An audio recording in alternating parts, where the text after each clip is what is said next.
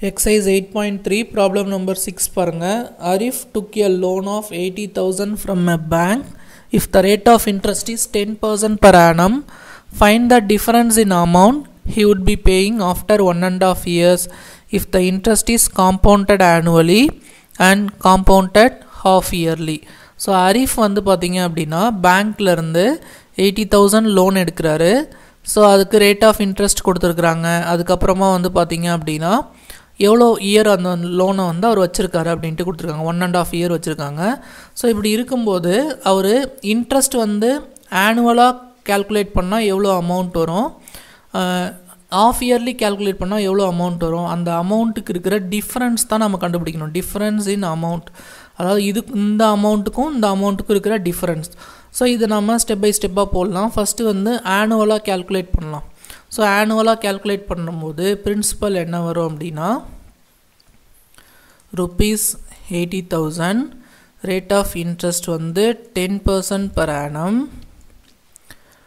number of years வந்து பார்த்திங்கன்னா one and half years so இப்போ இதில் நம்ம ஒன் அண்ட் ஆஃப் இயர்ஸ் வந்து நம்ம அந்த எயிட்டி தௌசணுக்கு ஆனுவலாக கேல்குலேட் பண்ண முடியாது. ஏன்னா நமக்கு தெரியும். ஃபார்முலாவில் அமௌண்ட் கேல்குலேட் பண்ணுறதுக்கு amount is equal to principal into one plus R divided by hundred whole power N இந்த எண்ணுக்கு பதிலாக நம்ம இந்த by two one by two அந்த மாதிரிலாம் போட முடியாது. அதனால் ஃபஸ்ட்டு வந்து நம்ம அமௌண்ட்டு ஒன் இயருக்கு கேல்குலேட் பண்ணிக்கலாம். அப்புறம் அந்த ஹாஃப் இயருக்கு தனியாக இன்ட்ரெஸ்ட் மட்டும் கண்டுபிடிச்சி அதை ஆட் பண்ணிக்கலாம். ஓகேவா ஸோ இந்த மாதிரி நம்ம ப்ராப்ளம் போட்டிருக்கோம் இதுக்கு முன்னாடி.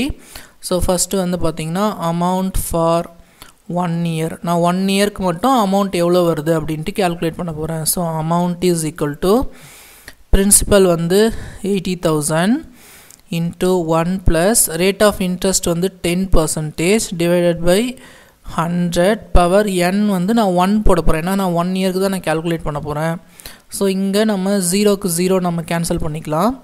So amount is equal to eighty thousand into one plus one by ten power one அது போட வேண்டாம். So amount is equal to eighty thousand into so இப்போது இதை ஆட் பண்ணால் ten plus one eleven so eleven by ten வந்துடும் so நம்ம cancel பண்ணிக்கலாம். ஒரு ஜீரோக்கு ஒரு ஜீரோ கேன்சல் பண்ணிக்கலாம்.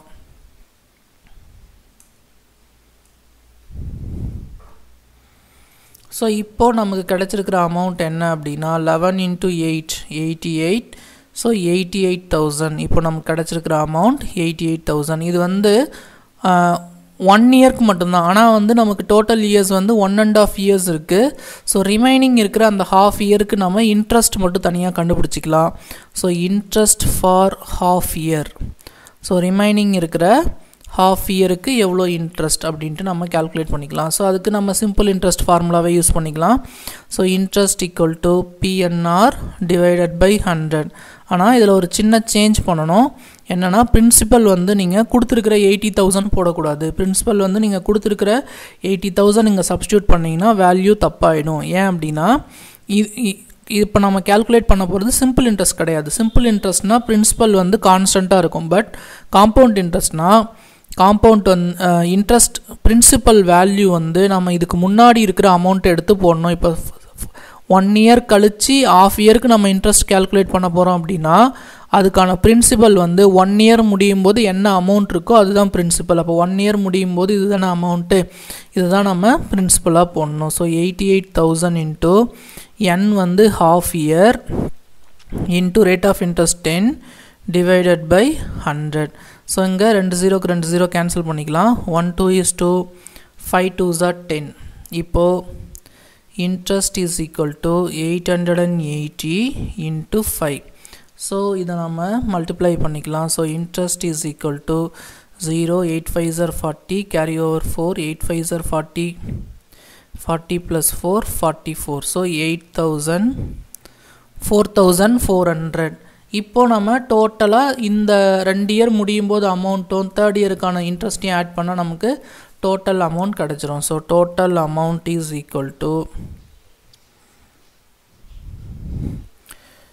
eighty eight thousand plus four thousand four hundred so இது ரெண்டுத்தையும் ஆட் பண்ணிங்கன்னா ninety two thousand four hundred வரும். Eighty eight plus four ninety two thousand four hundred இது வந்து பார்த்திங்கன்னா ஆனுவலாக கேல்குலேட் பண்ணும்போது நமக்கு கிடச்சிருக்கிற ஆனுவலாக கேல்குலேட் பண்ணும்போது நமக்கு கிடச்சிருக்கிற டோட்டல் அமௌண்ட் இதே மாதிரி நம்ம ஹாஃப் இயருக்கு கேல்குலேட் பண்ணும்போது டோட்டல் அமௌண்ட் வந்து என்ன கிடைக்குது அப்படின்ட்டு கண்டுபிடிக்கணும். ஸோ சேம் டேட்டா தான் நம்ம இது மட்டும்தான் சேஞ்ச் பண்ண போகிறோம் சேம் டேட்டா அதில் ஃபார்முலா மட்டும் நம்ம சேஞ்ச் பண்ண போகிறோம் ஸோ பிரின்சிபல் எவ்வளோ அப்படின்னு பார்த்தீங்கன்னா அதே eighty thousand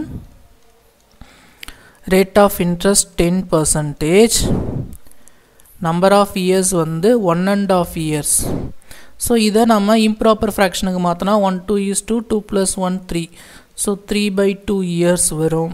ஸோ இதுக்கு அமௌண்ட் ஃபார்முலா என்ன அப்படின்னா amount is equal to principal into one plus R divided by hundred கிடையாது டூ ஹண்ட்ரட் பவர் என் கிடையாது டூ என் ஏன்னா நம்ம ஹாஃப் இயருக்கு கண்டுபிடிக்க போகிறோம் ஹாஃப் இயருக்கு இன்ட்ரெஸ்ட் கண்டுபிடிச்சி ஆட் பண்ண போகிறோம் இதில் நம்ம அந்த என் வேல்யூலாம் டேரெக்டாக போட்டுக்கலாம். ஏன்னா அந்த டூலாம் கேன்சல் ஆகிடும் அதனால் நம்ம டேரெக்டாக சப்ஸ்டியூட் பண்ணிக்கலாம். So amount is equal to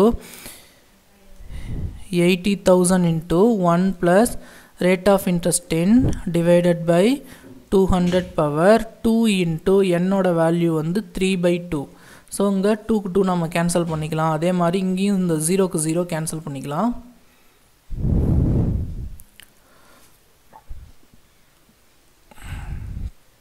So amount is equal to eighty thousand into one plus one by twenty மட்டும்தான் அங்கே இருக்குது ஸோ பவரில் த்ரீ மட்டும் இருக்குது so amount is equal to eighty thousand into so இங்கே டுவெண்ட்டி ஒன்னே add பண்ணால் twenty one வரும். So twenty one by twenty whole cube so amount is equal to eighty thousand into so இது twenty ஒன்னை நம்ம three times multiply பண்ணிக்கலாம்.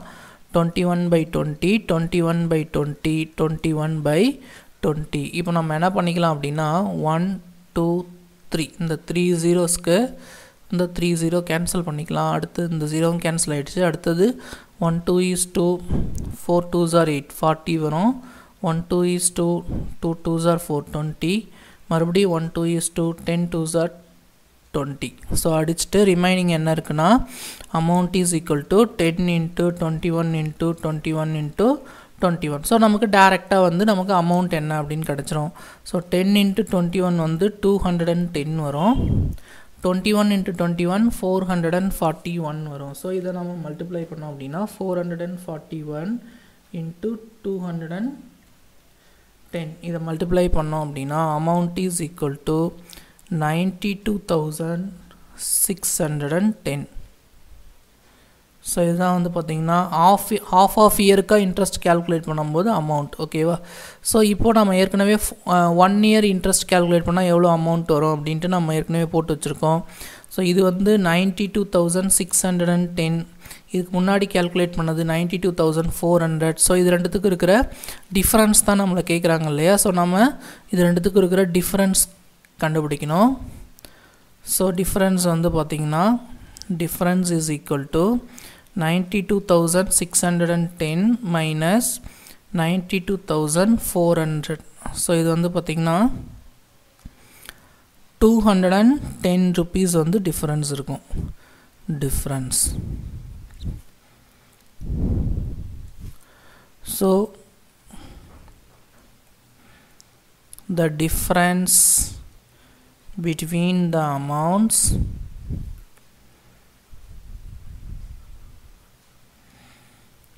for compounded annually. Compounded annually and half yearly would be rupees 210 okay thank you students